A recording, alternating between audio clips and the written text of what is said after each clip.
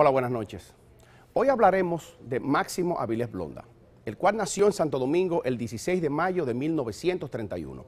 Fue el intermediario entre sus compañeros de estudio e inquietudes y María Ugarte, cuando ésta da inicio a su idea de crear en el nuevo periódico El Caribe una sección de colaboraciones escolares para estimular el talento de estos jóvenes de aquellos años. Veamos.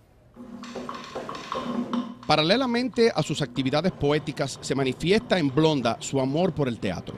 Recibe clases de actuación con Emilio Aparicio, graduándose en 1949.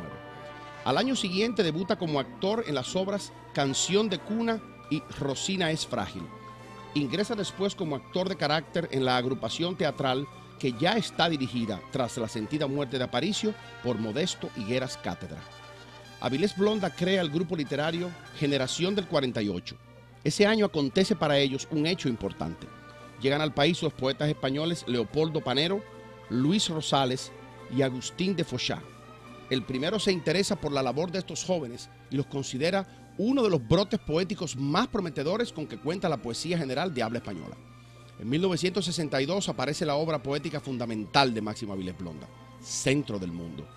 El poeta explica la forma en que se puede hacer un canto retratando la historia desde el alma. Máximo Avilés Blonda fue un poeta vinculado al ritual mágico de nuestro pueblo, plasmado con más propiedad que cuando aborda el tema de protesta social. Héctor Inchaustegui Cabral pone de manifiesto la religiosidad de este poeta al estudiar su poema San Juan Bautista. Dice, Avilés, cuyas aficiones religiosas rayan en manía, juega con el poema, es juego desde luego, perfectamente serio, con palabras y calificaciones de cuantos teologizan por deber o por gusto. Su labor en el teatro abarca desde la formación de grupos experimentales hasta la dirección del teatro universitario. Fue director de Bellas Artes del 1962 al 66, director de Extensión Cultural y Acción Social de la UAS del 71 al 72 y profesor del Departamento de Letras de dicha universidad.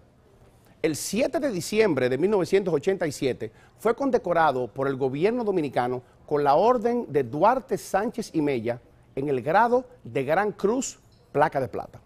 Falleció en Santo Domingo el 19 de enero de 1988 a la edad de 57 años. Puede contactarnos a través de Facebook, Historia Dominicana en Gráficas, en Twitter, arroba isdongra1 y al correo historia de g arroba noticiassin.com. Buenas noches.